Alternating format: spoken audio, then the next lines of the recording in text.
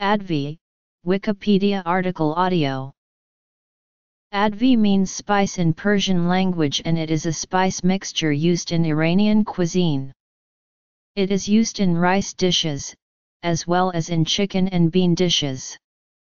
Although its specific composition varies from the Persian Gulf to the Caspian Sea, common ingredients include turmeric, cinnamon, cardamom, cloves, rose petals or rose buds, cumin, and ginger.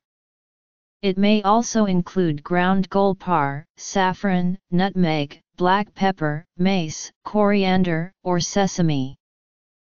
There are two basic varieties of Advieh. Notes Advieh used for stews often includes saffron, sesame, cinnamon, rosebuds, coriander, cardamom, and other spices.